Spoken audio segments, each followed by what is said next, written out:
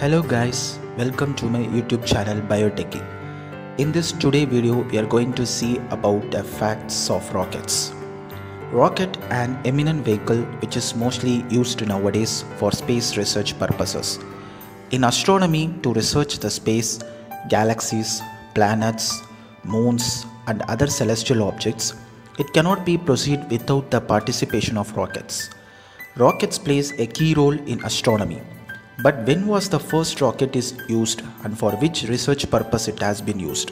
Oh, no, sorry. As first rocket is used for research purpose? Absolutely no. According to the data, rocket was used by Chinese at first for attacking purpose at war.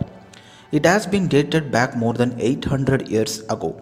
Rockets were invented in China according to the historical datas. These rockets are actually called as fire arrows when they are used at first time. These rockets were made of cardboard tube filled with gunpowder. To defeat the Mongol army at 1232 AD, Chinese used these fire arrows. After this event, the knowledge of rocket making were spread to the Middle East and Europe, where it's concluded that rocket is first used as a weapon purpose only.